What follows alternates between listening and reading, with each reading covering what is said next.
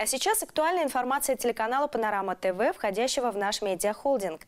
РЖД информирует о временном изменении расписания электричек, курсирующих по московскому направлению. Причина – капитальный ремонт пути, который стартовал 24 октября на участке Завидово-Решетникова. Работы затронут второй главный путь и будут проводиться до 3 ноября, а затем с 10 по 14 ноября. Планируется заменить более 12 километров рельсов с укладкой нового бестыкового пути, очистить щебеночный балласт, а в завершении обустроить полосу отвода. В российских железных дорогах отмечают, все это сделано для безопасности движения и комфорта. При этом в компании обращают внимание пассажиров, что все это повлечет изменения в расписании пригородных электропоездов. Поэтому граждан просят ежедневно перепроверять время прибытия и отправки на вокзалах, станциях, а также на официальном сайте перевозчика Московско-Тверской пригородной пассажирской компании.